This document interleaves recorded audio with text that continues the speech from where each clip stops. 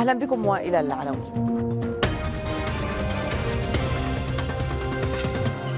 طائرة التحالف السعودي تستهدف صنعاء وصعدة بسلسلة غارات والجيش اليمني واللجان الشعبية يقصفان منطقة جيزان الحدودية. حزب الشعب الجمهوري يدعو إلى حكومة ائتلافية من دون حزب العدالة والتنمية. وديمرتاش يقول أن السياسة التركية تجاه سوريا لا بد أن تتغير. القوى السياسية الليبية تبحث في المغرب مسودة جديدة لحل الأزمات تشمل تأليف حكومة وحدة وطنية. قالت مصادر يمنية مطلعة إن الجيش واللجان الشعبية استهدفا عددا من المواقع العسكرية السعودية في جيزان بأربعين صاروخا وبعشرات القذائف المدفعية الثقيلة. من جهة ثانية أفاد مراسل الميادين بأن طائرات التحالف السعودي شنت سلسلة غارات على العاصمة صنعاء واستهدفت مبنى وزارة الدفاع. كذلك شنت هذه الطائرات خمس غارات استهدفت بئر أحمد والعريش والخط الساحلي في عدن. وطاولت الغارات محافظة صعدة حيث شنت عشر غارات غارات أو شنت عشر غارات على منطقة بني بحر بمديرية سقين أنهى وفد حركة أنصار الله مشاوراته مع مسؤولين في الخارجية الروسية في موسكو. مراسل الميادين أفاد بأن الوفد الذي غادر عائدا إلى مسقط بحث وضع جدول أعمال لحوار جنيف. الناطق الرسمي للحركة محمد عبد السلام أكد للميادين أن المشاورات كانت إيجابية لافتا إلى أن الحركة ملتزمة الذهاب إلى جنيف من دون شروط. اللقاء كان ايجابيا جدا. ناقشنا فيه مختلف الأوضاع السياسية والعسكرية والميدانية وكان هناك توجه واضح جدا من الأصدقاء الروس أن الحرب لا يمكن أن تؤدي إلى حل بل بالعكس ستكون لها نتائج كارثية كما هو حاصل اليوم. ونحن في كل الأحوال أكدنا للأصدقاء الروس أن الموقف الروسي يجب أن يكون إلى جانب الشعب اليمني الذي يتعرض لعدوان واضح ودون أي مبرر. كما أكدنا أن المواقف المطلوبة اليوم هو أن يكون هناك وقف للعدوان ثم الجلوس على طاولة الحوار للتفاهم حول كل المسائل المتعلقة بالعدوان.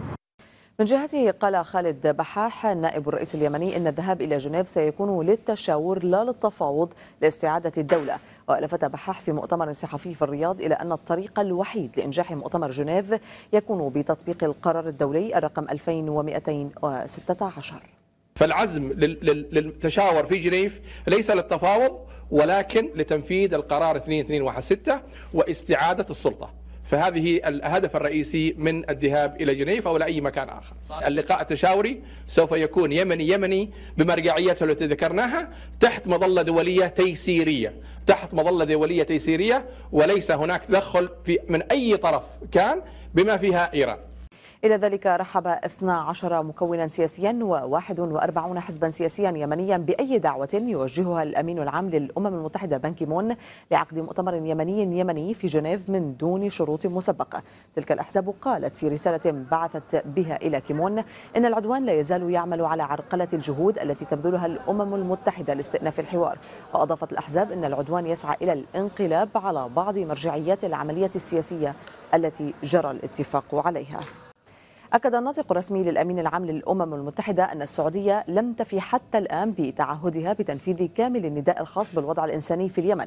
وكانت السعودية قد تعهدت دفع 284 مليون دولار وهي قيمة النداء العاجل لمساعدة اليمن إنسانيا في بداية حملتها العسكرية. وربطت سرا بين الدفع وتعيين إسماعيل والشيخ أحمد مبعوثا شخصيا لليمن. لا زلنا نعمل على الآليات بهدف تحويل المبالغ التي تم التعهد بدفعها. واضح أن هذه العملية تأخذ وقتا أطول مما نأمل أو نرغب. لا سيما في ضوء الاحتياجات الملحة على الأرض وهذا ما نسلط الضوء عليه هنا يوميا. الأمم المتحدة وشركاؤها يواصلون التشاور والتنسيق قدر المستطاع وكان مساهمون آخرون أكثر سخاء. لكننا نبحث عن تلبية الاحتياجات الراهنة لبقية العام كذلك. يواصل حزب الله والجيش السوري تقدمهما حيث سيطرا على قرية شعبة أو قرنة شعبة شرف ووادي خشيعة وهما آخر معاقل جبهة النصرة في جرود الجراجير فيما سقط عدد من القتلى والجرحى في صفوف الجبهة. مراسل الميادين في لبنان أفاد بأن المقاومة سيطرت على وادي تركمان ووادي القصير وعقبة القصير ووادي السيري وواديي الحريقة والتنين في ظل سقوط قتلى وجرحى في صفوف مسلحي جبهة النصرة.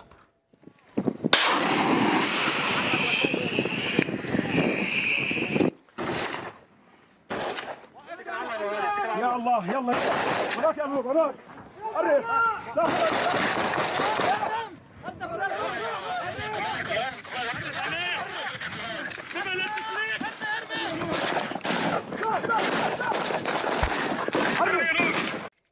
هذا وأظهرت مشاهد لمعبر الحمراء الذي سيطر عليه الجيش السوري والمقاومة والذي كان يربط جرد فليطة بجرود عرسال اللبنانية ويعد من أهم المعابر التي كانت تستخدمها جبهة النصرة بين لبنان وسوريا. أظهرت المشاهد الآليات التي كان يستخدمها المسلحون للتنقل بين جرود عرسال وفليطة وقد تعرضت للاستهداف ودمرت بالكامل. ميدانيا في سوريا قصفت طائرات التحالف الأمريكي مواقع لتنظيم داعش في بلدة سوران في ريف حلب الشمالي في تدخل هو الأول من نوعه في المعارك بين داعش والفصائل المتشددة. أبرز التطورات في ريف حلب الشمالي في هذا التقرير. في الريف الشمالي لمحافظة حلب تدور معارك عنيفة. أطرافها عناصر داعش من جهة ومسلحو كل من جبهة النصرة وحركة أحرار الشام ولواء الفتح والجبهة الإسلامية وكتائب نور الدين الزنكي من جهة أخرى. داعش الذي يسيطر على بلدة صوران يستهدف المسلحين في بلدة عزاز كذلك يحاول التقدم باتجاه مارع مقر النصرة وحلفائها في ريف حلب الشمالي. عناصر التنظيم حاولوا الالتفاف من شرق مارع باتجاه الجنوب الغربي لمحاصرة البلدة. ما يمكنهم من ضرب بلدة تل رفعت التي ينتشر فيها أيضا مسلح النصرة وأحرار الشام ومن يقاتل معهم. هدف داعش من هذا التمدد والتقدم هو الوصول إلى بلدة أعزاز ومعبر باب السلامة الحدودي مع تركيا ولمنعه من تحقيق هدفه دارت المعارك العنيفة في صوران ومارع وتل رفعت. طائرات التحالف الأمريكي دخلت على خط المواجهات لتقف في صف مسلحي النصرة وأحرار الشام والجبهة الشامية في وجه داعش. قصف الطائرات استهدف مواقع داعش في صوران لدفعه إلى التراجع والخروج منها. في تدخل هو الأول من نوعه لطائرات التحالف في المعارك بين داعش والفصائل المتشددة الأخرى. أيضا الطائرات السورية دخلت على خط المواجهات ولكن لتستهدف جميع المسلحين على حد سواء. طائرات الجيش السوري استهدفت مواقع المسلحين وأرتالهم في إعزاز قرب الحدود التركية بالتزامن مع المعارك التي تشهدها المناطق المحيطة. أكد وزير الخارجية المصري سامح شكري توصل المعارضين المجتمعين في القاهرة إلى صيغة من عشر نقاط لحل الأزمة السورية. وفي كلمته أمام المؤتمر مؤتمر المعارضة السورية في القاهرة قال شكري أن المؤتمر الموسع يستهدف صياغة تصور يتأسس على تلك النقاط التوافقية ويتضمن رؤية واضحة لمستقبل سوريا وصيغة تنفيذية لوثيقة جنيف. التجربة أثبتت أن مواجهة خطر تلك التنظيمات وإعادة توحيد الأراضي السورية لن تتحقق دون التوصل لتسوية سياسية. تسوية مبنية على وثيقة جنيف. وفي دمشق عقدت قمة روحية لبطاركة أنطاكيا الخمسة للمرة الأولى في العاصمة السورية دمشق. القمة اختتمت ببيان شدد على ضرورة محاربة الفكر التكفيري والتعايش بين الأديان. ديما نصيف والتفاصيل. أنه حان الوقت لمواجهة الفكر التكفيري وتجفيف منابعه من خلال تربية دينية تعمم ثقافة الانفتاح والسلام وحرية المعتقد. فمن الملح بلورة فكر نقدي يقود إلى إلغاء مقولة دار الحرب والذمية وإلى إقرار المواطنة. المسيحية المشرقية في صوت المعاون البطريركي معلولي المريمية تحولت من كنيسة إلى نداء وصرخة من أجل الدفاع عن المسيحية المتأصلة في أرض المشرق ورسوخها فيها في وجه الفكر التكفيري الإرهاب السبي القتل الذمية ودار الحرب. كما ندعوكم أيها الأحباء أن تواظبوا على أطيب العلاقات مع إخوتنا المسلمين شركائنا في الوطن والمصير. الذين نعيش معهم في هذه الأرض والذين نتقاسم وإياهم في هذه الأيام ويلات العنف والإرهاب الناتجين عن الفكر التكفيري. في كل سطر من نداء المريمية يسمع صوت أمراء كنيسة أنطاكيا الخمسة لكي يضع العالم حدا للويلات التي تعاني منها سوريا. دعوة لكل المجتمع الدولي ولكل الدول ولكل أصحاب القرار في العالم دعوة للدفع بإيجاد حل سلمي سياسي في سوريا وهذا ما نرجوه لسوريا ولكل أنحاء المنطقة. نداء المريمية ولد خلف أبواب مغلقة على الإعلاميين استعجلوا الكشف عن قمة بطاركة أنطاكيا الخمسة فالحدث لم تشهد دمشق مثيلا له منذ قرن ونصف. البطاركة الراعي يونان لحام اليازجي استبقوا النداء بصلاة وقرأ كل منهم رسالته التي ستشكل جزءا من النداء. تعهد سوريا ولبنان والعراق بعنايتك. أما اتحادهم في دمشق بالذات ومن المريمية منارتها فرسالة سياسية بامتياز. عن دورها في معركة الدفاع عن المسيحية المشرقية النداء توصيف أيضا لا مداورة فيه لمسؤولية العالم عن اقتلاع آلاف المسيحيين في العراق وسوريا وإعادة من هجروا من ديارهم ذلك أن ما بعد النداء لن يكون كما قبله. لم يكتفي بطاركة أنطاكيا بقرع أجراس الخطر وتعيين التكفير والإرهاب مصدرا لتهديد الوجود المسيحي في المنطقة. قمة المريمية تستكمل بدعوة من يريد فعلا حماية المسيحيين بالكف عن دعم من يهدد وجودهم. من كنيسة المريمية في دمشق ديما ناصيف الميادين. أعلن الرئيس الأمريكي باراك أوباما أن واشنطن تسعى إلى إرسال عدد من العسكريين إلى العراق لتدريب القوات العراقية وذلك بهدف امتلاك القدرة على مواجهة تنظيم داعش والقضاء عليه في العراق. إذا تمكنا من وقف دخول المقاتلين الأجانب عبر الحدود التركية إلى داخل العراق فسنتمكن والجيش العراقي من عزل مسلحي تنظيم داعش المتواجدين على امتداد الأراضي العراقية وبالتالي القضاء عليهم. أوباما أكد أن تنظيم داعش سيهزم وسيطرد من العراق وأن النجاحات التي حققها التنظيم في منطقة الرمادي ستكون تكتيكية وقصيرة الأجل. كلام أوباما جاء في خلال اجتماعه إلى رئيس الوزراء العراقي حيدر العبادي في قمة مجموعة السبع في ألمانيا. بدوره دعا العبادي المجتمع الدولي إلى مساعدة العراق لمنع عناصر داعش من جني مكاسب من خلال تهريب النفط إلى الخارج. أكد المساعد الأول لرئيس حزب الشعب الجمهوري التركي عضو البرلمان فاروق لوغ أوغلو أن حزبه يريد حكومة ائتلافية من دون حزب العدالة والتنمية. وفي مقابلة مع الميادين أشار لوغ أوغلو إلى أن نتائج الانتخابات أنهت رغبة أردوغان في التحول إلى النظام الرئاسي.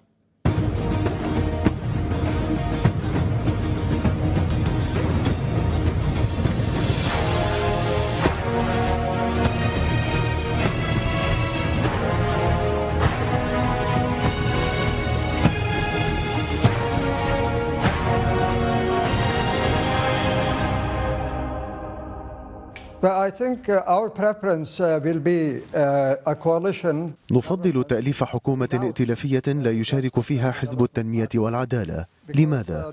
لأن نتائج الانتخابات أشارت بشكل لا لبس فيه إلى أن الشعب لا يريد هذا الحزب. لا يريد حكومة يكون هذا الحزب دعامة رئيسية لها. إذا ما نفضله في حزبنا هو تشكيل ائتلاف مع الحزبين الآخرين. زعيم حزب الشعوب الديمقراطي الكردي صلاح الدين ديمرتاش كشف أن سلسلة تفجيرات استهدفت الحزب في أثناء حملته الانتخابية لدخول البرلمان. لها صلة بتنظيم داعش في سوريا. واتهم ديمرتاش مجددا الحكومة التركية بدعم تنظيم داعش وقال أن الحكومة المقبلة ستدخل تغيرات على سياسة أنقرة تجاه سوريا. وأكد ديمرتاش أن الحكومات الائتلافية لن يكون بمقدورها. مواصلة دعم جماعات مثل داعش وغيره من الجماعات المتطرفة في سوريا. سوريا إلى ذلك تشير نتائج الانتخابات البرلمانية التركية إلى واقع سياسي مختلف ستعيشه تركيا في المرحلة المقبلة. من حمرية. هكذا كان ليل ديار بكر كأنه طلعة بهية لفجر جديد. هي ليست مجرد ألعاب نارية في احتفال عابر إنما إذانا بمرحلة جديدة من تاريخ تركيا. حزب الشعوب الديمقراطي حقق فوزا تاريخيا ودخل البرلمان من أبوابه الواسعة. فلم تفلح رهانات أردوغان ولا داوود أوغلو على خسارة الكرد بل جاءت النتائج عكسية. حزب العدالة والتنمية أصبح حائرا في تحالف لا بد منه لتشكيل حكومة لن يحكم فيها بأمر الله. Siyasette her şey olabilir. لا يستطيع حزب العدالة والتنمية تشكيل حكومة من جانبه ومع رفض الأحزاب الرئيسية التحالف معه نحن أمام انتخابات مبكرة. إذا خياران لا ثالث لهما أمام العدالة والتنمية. إما التنازل والتحالف أو الذهاب إلى انتخابات مبكرة. قد تدخل تركيا في نفق مظلم. فمن الصعب تقبل الكرد لنتيجة مغايرة لأن من ذاق طعم الفوز لأول مرة لن يرضى بالخسارة. الآن انتهى النقاش حول تغيير الحكم وانتهى عهد الدكتاتورية. لم يستطع الحزب الحاكم الوصول إلى ما يطمح إليه. لا شك أن سياسة هذه المرة تحدت الاقتصاد في جذب الناخب التركي. فمن سوء حظ أردوغان أنه أصر على تغيير النظام فرفع من رصيد الشعوب الديمقراطي. ومن سوء حظه أيضا أنه تحدى الجميع في سياسة خارجية جعلت تركيا طرفا سيء الصيت نحن كمجتمع علوي تعرف على المآسي التي يعيشها الشعب السوري وأردوغان يداه ملطختان بالدماء ويدعم التنظيمات الإرهابية في سوريا لذلك نقف ضده. العلويون جزء من التغيير لا يمكن إغفاله. أسروا في صناديق الاقتراع ما لم يجاهروا به. فأصبحوا مع الكرد والقوميين والعلمانيين جبهة واحدة وقفت سدا منيعا في وجه العدالة والتنمية. ملح مريا إسطنبول الميادين. دعت دول مجموعة السبع في ختام قمتها في ألمانيا السلطتين الليبيتين المتنافستين إلى اتخاذ قرارات سياسية جريئة وأبرام اتفاق سياسي. ورأت المجموعة أن تأليف حكومة وحدة وطنية من شأنه أن يؤمن دعما كبيرا للمساعدة على إصلاح البنى التحتية والمساعدة على استئصال الإرهابيين. جاء ذلك بالتزامن مع بدء طرفي النزاع في ليبيا. جولة محادثات جديدة في المغرب عدتها الأمم المتحدة حاسمة للتوصل إلى اتفاق على تأليف حكومة وحدة قبل بدء شهر رمضان. إلى ذلك قال مبعوث الأمم المتحدة الخاص إلى ليبيا برناردينو ليون إن الأمم المتحدة مستعدة لتقديم لائحة بأسماء شخصيات مؤهلة للانضمام إلى حكومة وحدة وطنية حالما يجري بلوغ الاتفاق. ليون دعا المشاركين في خلال جولة المحادثات المنعقدة في المغرب إلى تقديم تنازلات للتوصل إلى اتفاق سياسي شامل ومتوازن. اليوم تتجه أنظار الشعب الليبي إليكم مع الأمل أن يؤدي عملكم إلى إسكات الأسلحة. إنكم قادرون على تجنيب الليبيين مآسي أخرى. يجب أن تتوقف المعارك وآمل أن أتسلم من الوفدين ردودهما على مشروع الاتفاق الجديد في أقرب وقت بحيث نلتقي مجددا في مستهل الأسبوع المقبل للتوقيع. مشروع الاتفاق الرابع ينبغي أن يتضمن تعديلات تكرس مبدأ التوازن بين كل المؤسسات في ليبيا والتفاهم. بحث وزير الخارجية المصري سامح شكري مع محمد الدايري في وزير الخارجية في الحكومة الليبية المعترف بها دوليا بحث العلاقات الثنائية والتطورات على الساحة الليبية والتعاون بين الجانبين في مكافحة المجموعات الإرهابية ولا سيما تنظيم داعش. وأكد الوزيران في مؤتمر صحفي مشترك أن الاستقرار في ليبيا لن يتحقق إلا بالتفاف الجميع حول الحكومة المعترف بها دوليا نحن نعلق حاليا على قدرة الجيش الشرعي الليبي والحكومة الشرعية ومجلس النواب بأن يحظى في إطار الحل السياسي بالمكانة المؤهل لها بحكم دعم من الإرادة الشعبية اللي تمثلت في الانتخابات البرلمانية اللي عقدت في يونيو الماضي. خطر داعش يداهمنا في ليبيا ودول الجوار بطريقة أكثر خطورة مما كان الأمر عليه منذ أشهر. فوجود مصر معنا في خندق واحد يطمئننا نحن في ليبيا وهو مدعاة للفخر والاعتزاز. قال المدير العام للوكالة الدولية للطاقة الذرية يوكيا أمانو أن توضيح الأبعاد العسكرية المحتملة لبرنامج إيران النووي ممكن في خلال إطار زمني معقول وذلك إذا طبقت إيران الإجراءات الواردة في إعلان لوزان يمكن توضيح أي أبعاد عسكرية محتملة لبرنامج إيران النووي. إذا تم تطبيق تفاصيل الاتفاق المبدئي الذي أبرم في أبريل نيسان الماضي بين طهران والقوى العالمية الست. أنا واثق من أن توضيح المسائل ذات الأبعاد العسكرية المحتملة. ممكن خلال إطار زمني معقول. إذا طبقت إيران الإجراءات الواردة في إعلان لوزان. حملت وزارة شؤون الأسرى الفلسطينية إسرائيل المسؤولية عن حياة الشيخ الأسير خضر عدنان المضرب عن الطعام منذ ما يزيد على الشهر. وأكدت الوزارة أن إسرائيل تستهتر بحياة عدنان وترفض الحوار معه. بأمعائه الخاوية يواصل الشيخ الأسير خضر عدنان مقاومته السجان الإسرائيلي. جسده أنهك ونقل إلى أحد المشافي الإسرائيلية لكنه لا يزال يرفض أخذ المداعمات أو تناول الطعام. يوجد عنده ضعف في النظر الآن ولا يقوى على الحركة إلا بواسطة كرسي متحرك. هذا ما أفدنا ما أفادنا به مندوب الصليب الأحمر الدولي. وهو الآن مصمم على مواصلة الإضراب حتى النهاية حتى يخرج منتصرا. عائلة الأسير والمؤسسات الحقوقية أكدت أن إسرائيل تتعامل باستهتار مع صحة الأسير خضر عدنان المضرب عن الطعام منذ أكثر من 35 يوما. الوضع العام في السجون وضع مزري جدا صعب جدا. خلال السنوات الماضية اتخذت عدة إجراءات وسن آه، آه، العديد من القوانين التي جعلت من حياة الأسرى آه، صعبة. الحكومة أعطت تفويض لمصلحة السجون والمؤسسات الأمنية في إسرائيل للتنكيل بالأسرى ولشن حرب استنزاف.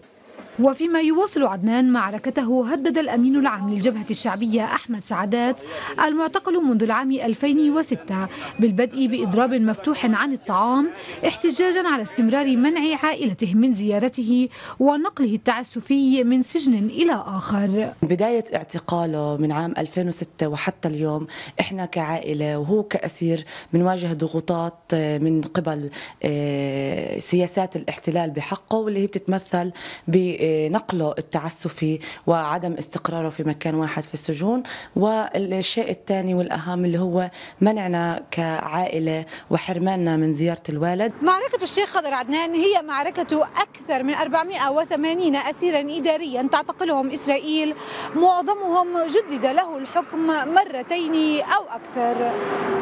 نسر سلمي من أمام معسكر بيت إيلا الإسرائيلي شمال رام الله الميادين. أبرز عناوين الصحف العربية الصادرة صباح هذا اليوم والزميلة فاطمة قاسم. صباح الخير فاطمة. صباح الخير تفضلي. شكرا لك.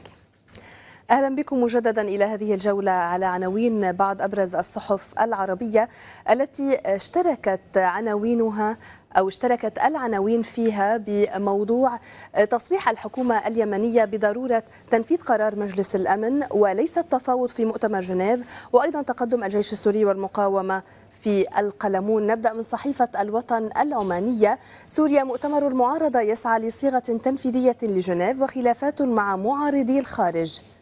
الحكومة اليمنية لقاء جنيف لتنفيذ 2216 وليس للتفاوض. ننتقل إلى عفوا. سنكتفي بهذا القدر من هذه الجولة على عناوين الصحف. إلى الماضي الحاضر.